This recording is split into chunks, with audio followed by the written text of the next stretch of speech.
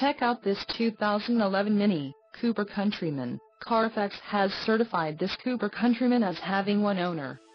This Cooper Countryman has just under 35,000 miles.